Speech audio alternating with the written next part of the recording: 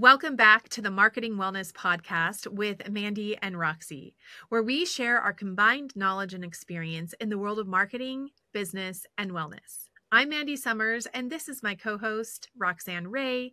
We are well equipped to bring you the latest in marketing and business knowledge. In this episode, we're going to be discussing how email is definitely not dead. We'll also share any links in the show notes to anything that we reference and make sure that you subscribe to our podcast so you never miss an episode. Stick around to the end and you'll get info on how to access our exclusive community where we share advanced trainings and tools to use for marketing your wellness and growing your business. So, today, Roxy, let's chat about email. I know you are very passionate about teaching the healthy habits of emailing and how this can really change your business. And I'll be honest, I was not emailing consistently before I hired you back in 2020 and it has literally revolutionized my business. We have grown our list by over 10,000 just in the last few years, um, just from sending emails consistently and leading people to that. So, with that, I would love for you to share some of your amazing knowledge on email marketing. Yes. Okay. So, I have a ton to say about this. And I'll try to keep it concise and distill it down to just the necessary pieces when it comes to email marketing. Number one, I believe every single business owner should be using email to communicate both with their prospects and their customers. There's absolutely no reason in the year 2024 that you should not be emailing. And it's absolutely not dead. I can actually give you some statistics to help reinforce this idea that email is absolutely necessary. Okay. So, number one is when it comes to your customer list, you can get open rates between 60 to 90%, sometimes 100% when you email your customer list consistently. So I think that's the underlying foundation to all the discussion we're going to have about email is it absolutely has to be on a consistent basis. You cannot just decide, "Oh, today I'm going to email my whole list," and then they don't hear from you for 6 months. That's not what I'm talking about. You have to email consistently. So with that consistent effort, you can expect between 60 to 90, sometimes 100% open rate. So it's not just the email getting to the inbox, but actually being opened by your list of customers. Which is this, absolutely incredible. That's an yes. incredible rate. Well, especially because if you were to Google what is an average open rate for an email, industry wide, whether it doesn't matter the industry, it's all between 10 to 20%. Do you realize? Okay, so that means 10 to 20 people out of 100 are actually opening your email. That's awful. Versus six to eight people out of 10 opening your email. Like that is where we want to get to. And that's where you absolutely can get to when you're emailing consistently. And so we'll talk about some specifics on what to email and all that. But that's for your customers. Then when it comes to your prospects, the open rate does start to drop a little bit, but you can absolutely expect to get between a 40 to 50% open rate for your prospect emails. So what I mean by prospects are people who download your lead magnet. And so they don't really know you. They're still getting like you're still nurturing that relationship you can still have a really good open rate on that. And so that is why we are saying email is not dead because this can absolutely re reinvigorate your business, number one, where you can nurture prospects to become customers. But then when you're emailing your customers, you can reactivate old customers. You can have them buying more from you than just that initial purchase. And in fact, there's some statistics out there that say retaining a customer is more valuable than trying to get a new customer, meaning you make more revenue when you retain your customers, meaning they buy from you over and over and over again versus trying to go out and get a new customer. It's more expensive to go get that new customer. I love that. So, Roxy, if this is a question I get often in our academy, when we start talking about emails, the first question always is, How do I start? And how do I go from not sending emails? And so maybe our listeners are feeling this where they're like, yeah, like I have a list. Maybe you got a couple hundred, a couple thousand on there, but you haven't communicated with them in a year, two years, three years. And a lot of people have that like anxiety of, I'm just going to drop into their email box, almost like you're, you're dropping in at their house, you're knocking on the door and walking in. And so I I would be curious what you recommend and I know mm-hmm. what I recommend but like what are how what are your recommendations for when somebody is stuck and they're like I want to start emailing but how do I actually get that first initial email like what do I put in it? Yeah, oh, this is a great question. I actually did a whole training class on this in Social Fox on how to revive a dead list, essentially, is what we're doing, right? And the, right. what I mean by dead list is that you just haven't talked to them in a long time and they probably don't even remember that they're on your list. Well, and, so, and I love it that you say dead list because email is dead if you're not emailing it. If you're not totally. utilizing it, it is definitely dead. totally. Totally. So if you're not using email, then I guess yes, it's dead. But you should be using it because it's alive and well for us who are using it. Absolutely. And so here is number one if you're deciding, I'm going to go in on emailing, I have this list, how am I going to reinvigorate them? Number one, you have to decide as soon as I send that first email, I'm going to continue to be consistent in emailing them week after week and never stop. So don't try to revive your list unless you're prepared to email consistently. So that's number one. Number two would be that that first email. What do you say in it? Right? That's the question. That's a million dollar question. What do I say in the email? I like to call the elephant out in the room and just apologize and say, "You're on my list, and I have dropped the ball. I I told you I was going to email you. You I told you you're going to hear from me, and you haven't, and that's my fault, and I take full responsibility for that. Here's what I, you can expect from me and just lay it out. I'm going to email you weekly on these topics, right? This is what I share about in my emails, whether it's, you know, is it wellness related? Is it marketing related? Is it bit like what is it that you're going to email them, the topics you're going to share with them, and then tell them a little bit about you. So you have to build your credibility back up. Who are you and why should they choose to continue to be on your list? And if you do that in a really authentic way, you can really truly start to revive a list of people who are like, oh, I I did I, I don't remember signing up for this list, but these are topics I'm interested in. I really like this person. They've shared a little bit about themselves. I'm going to stay on this list and just see how it goes. Right? When you just call it out from the beginning and you even get and you make it very easy for them to unsubscribe because you do not want people spamming you because that's going to hurt your ability to have those higher open rates when people mark you as spam. So you just lay it even in the first sentence. I, I would just put in there I've dropped the ball. I completely understand if you want to unsubscribe from my list and put the link right there because you do not want people to mark you as spam. So don't make it where people are like, oh, what is this crap? Spam. right. but you know, the the I actually think that's brilliant because some of my best open rates have been like, I messed up. Or just in the last month, I used a Taylor Swift lyric that was like, It's me, hi, I'm the problem, it's me. Because I like messed up an email.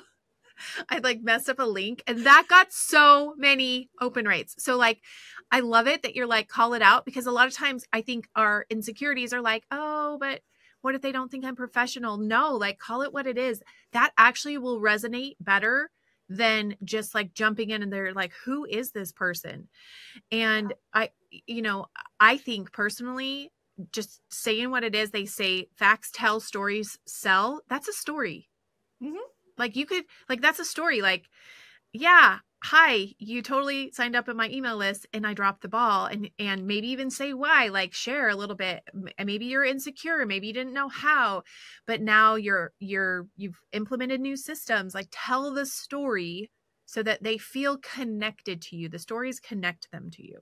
And it humanizes, right? We all want to feel like oh, I can empathize with that person. I can relate to that person. They're not perfect. They're doing the best they can. Because, I mean, at the end of the day, even like you're probably looking at us like, oh, Roxy, man, you guys got it together. Like, trust me. We're not per- like no like nobody on planet Earth is perfect. Like we all make mistakes. We all try our best. And so when you can just share that openly and be just vulnerable, people resonate with that and they really yeah. like then they you might actually have people who have been on your list where if you had been emailing consistently, they probably would have ignored you. Now paying attention because you've just shared your story with them. Well, and there's also let's address another huge aspect of why people don't email, and that's fear. Fear that yes. they're going to screw it up. Fear of how people are going to view them. Fear that the wrong thing's going to go out. Fear that, like, there's all these things. And what I've learned, it like I've had to go from being uh, that's a perfectionist mindset where it's like everything has to be perfect before I can send it. And if you're on my list, you know that I'm not that way anymore. And so a lot of times you'll get something from me and you're like, I get, you know, emails back that are like, hey, that link didn't work. Or, you know, did you mean to say this or that? Or there's a spelling error. And uh, of course, I'm trying as hard as I can to be as professional as I can, but I'm also human. And I think that that gives it that relatable side of things. And so, like, can I just share a story? I've actually got two of these. I'll share one um, of an email nightmare. Oh, no. That happened. I've witnessed many of these, not just from you, but like from other people too. well, and so, and I share this because not, you know, I just want you to know that it's better to get things done than not. Um, we set up our email uh, automation to have like I don't know, five or 10 things going out. So a lot of times when you're building out your, your email system, you can, especially if you're using Go High Level Social Fox, you can go through and say, okay, on this day, send this email, this day. And so it's like you put them into an automation and you don't have to go back and think about it. Mm-hmm. Well, we mm-hmm. had dropped 5,000 people into this email sequence, this workflow. And we had like five of the six emails done. And as you know roxanne you can go in and you can edit after you've dropped people in as long as they haven't gone through that email step. And so the intention was we were going to fill out depending on what had happened that week we were going to like because a lot of times i i like to gauge my audience questions because i do a lot of interaction with live coaching um, and it, that email was going to address some of those things and i just forgot to go in and change it. So when i set it up the only thing in that email was unsubscribe. Oh my god with a link I didn't know this is how it happened. so five people or five five thousand people got an unsubscribe email that that's all it said was unsubscribe and we had like 100 people unsubscribe that day which is huge. I mean, I think on our unsubscribe list for that particular list, we maybe have like 250 over the last three years total with that 100 included in there. So, oh my goodness. But, and I had people that were like, Are you mad at me? Like, what, you know, because it just says like unsubscribe. It's like so blunt. Almost like a demand, like unsubscribe. Yes, unsubscribe now from my list. Like, how dare you be on here? but you know, I sat there and I thought, I actually had some people who messaged back and they were like, "Thanks, yeah, I've actually been meaning to unsubscribe." it was so funny. Oh no! But I just thought, and that's okay. It it happens. It totally like sometimes things happen, and we still have an amazing email list and we laugh about that now. Me and my sales team, we laugh about that. We're like, oh, that was really funny. Remember that day when we had a hundred unsubscribes all at once? That's a good way to clean your list. Yes, totally. it was so good. And you know, the thing is, is our unsubscribe actually takes you to a page that says, Did you mean to unsubscribe? And and so we actually did have some resubscribes from that. People followed it and then they're like, I didn't mean to, I didn't mean to. So we kind of had a lot of interaction with this, like tons of emails coming back, which is good for our reputation. Mm-hmm. Not great that we had so many unsubscribes. We had some resubscribes, things like that. So um, I wanted to share that because emailing has brought us millions of dollars in our business. And in in 2021 2022 2023 and now in 2024 like we're on track to have a huge year again and just this last week um, our sales staff we you know i run i run boot camps and that will front load our sales staff with a lot of appointments but mm-hmm. just this week i hadn't done something so i th- i put together an email sequence and from the first one we started getting appointments just from that email. I didn't have to show up live. It was just sending value packed emails. It's like, here's a tip, book an appointment, you know, type of thing. Um, and it's been absolutely incredible because of that. I love, I love that you shared that story of, uh, you know, because you're right. I know I've talked to so many people, they're afraid to get started because they're afraid of people unsubscribing.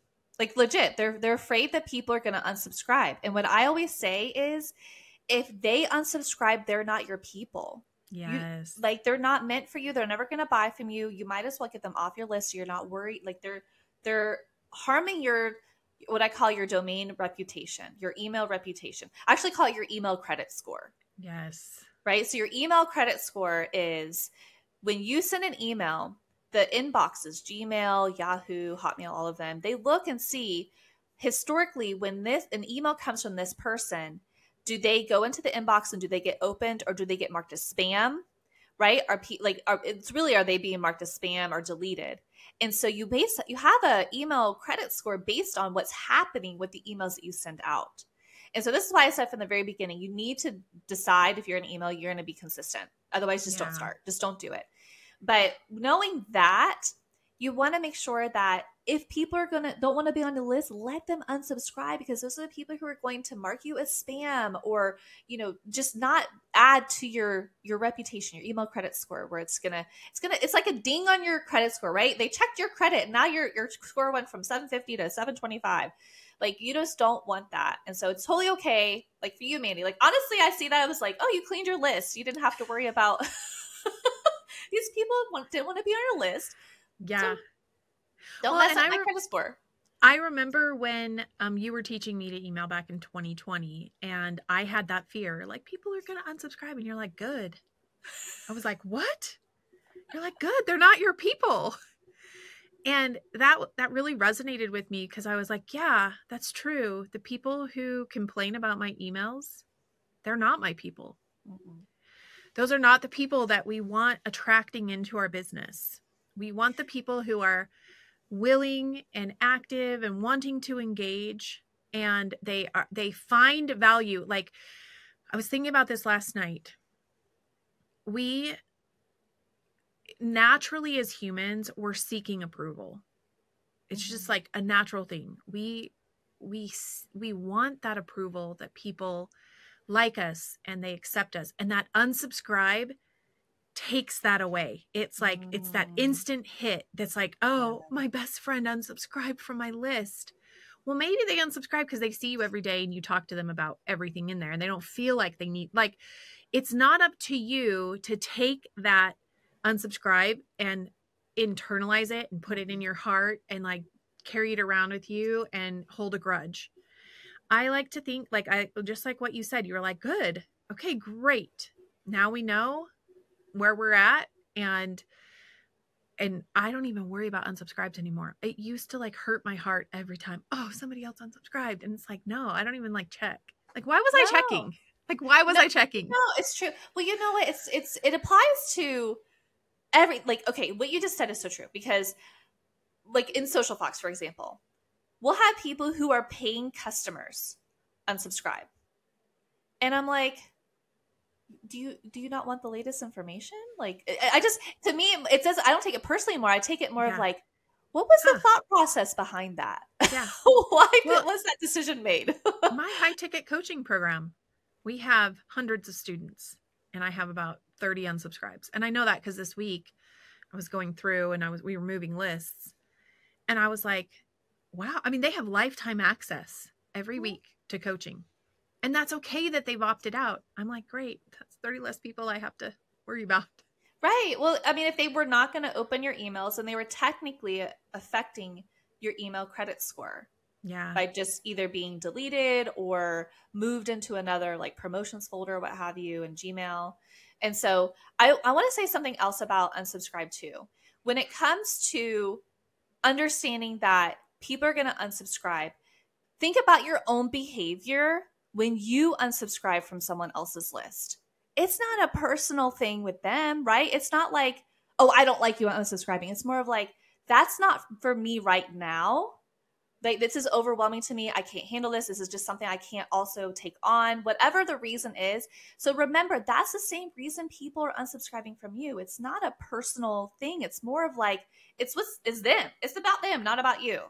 So just remember that when you're looking at unsubscribes. I know that's a really big deal for a lot of people. Yeah. And you also have to think like um management wise like what can they emotionally and mentally and professionally manage in their life at that time like it's not about you it's it's about what they can take in internally can mm-hmm. they can they be assimilating that information that you're sending them i i've seen this with my boot camps um i give so much information like free information.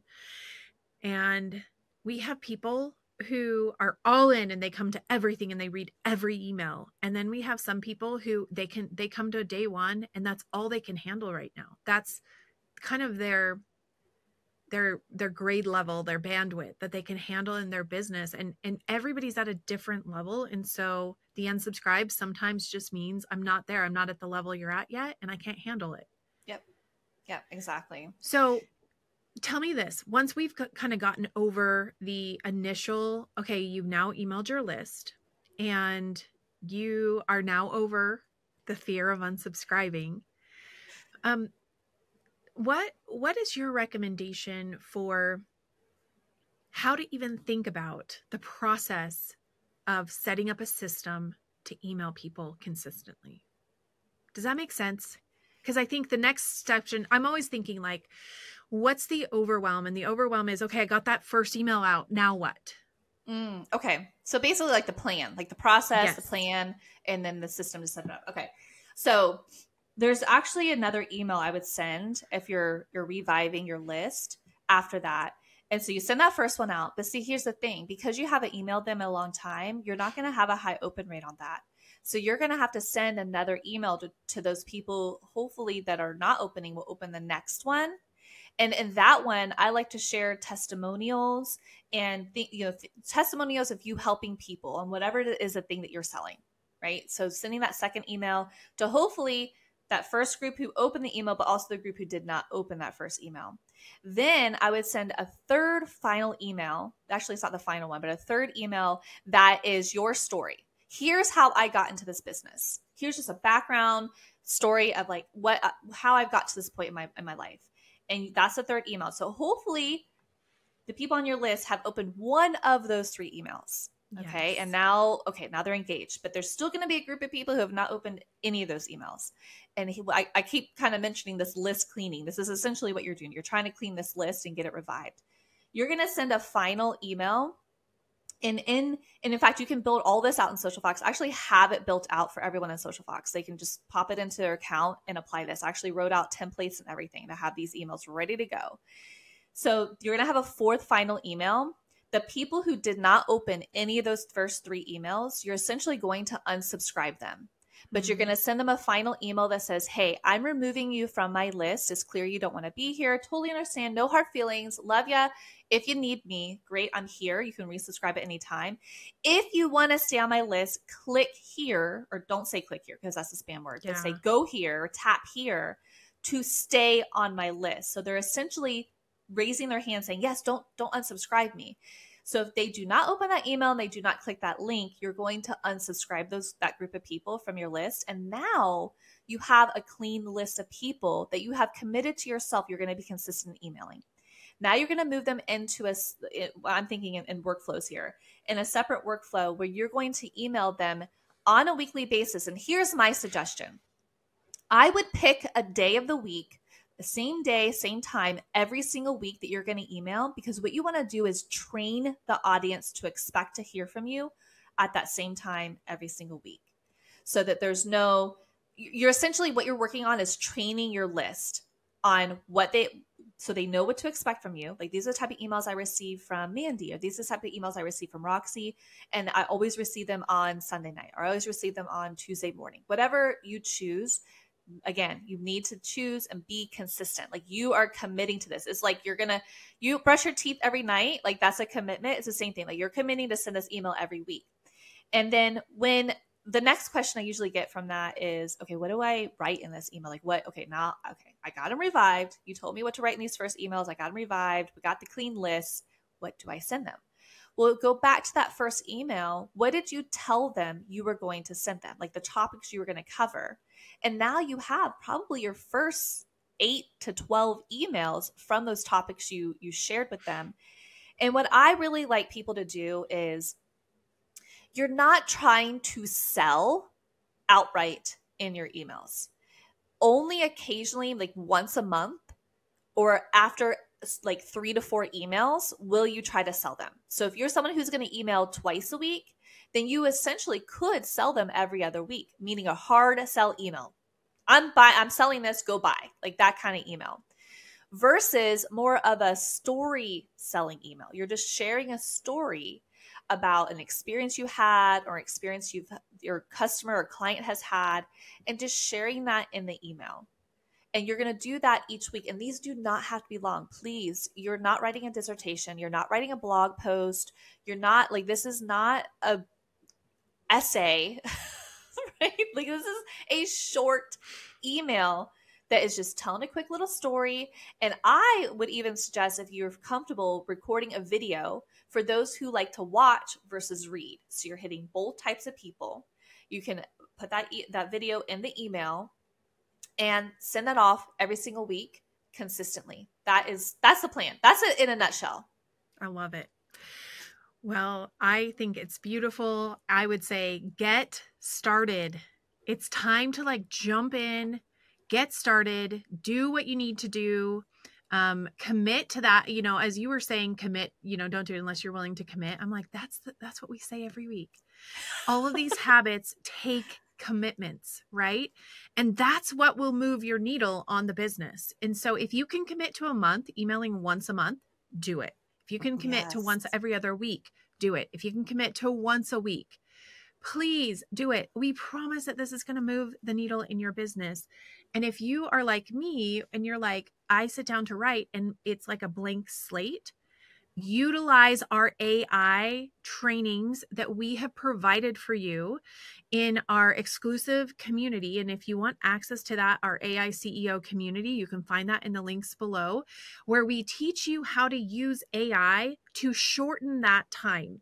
Because for me, it like if I'm going to sit down and write an email from my heart, it's going to take about half a day but I can take that and I can bullet point it, put it into some of the AI programs and have that done and done, scheduled and sent in less than 30 minutes. That's the goal of the AI CEO is to help you shorten that time that some of these consuming tasks can take. So in my opinion, committing to showing up um, to email is so much easier than it used to, to be because of the AI programs that we have available to us. So we so appreciate you tuning in today. I hope we hope that you found this podcast helpful today, that it gave you some ideas and and it also helped you to feel ready to move that needle in your business and start emailing. Just take action and and commit to that consistency, whatever that looks like for you. Um, remember, if you're interested in the AI community, you can find that in the show, mo- show notes or description below. Our goal is to give you back 10 hours of your time each week using AI, and that's what we teach in our AI CEO community. Um, Thank you so much for being here. Give this video a thumbs up, click that subscribe button if you liked it, and we will see you in our next podcast. Bye.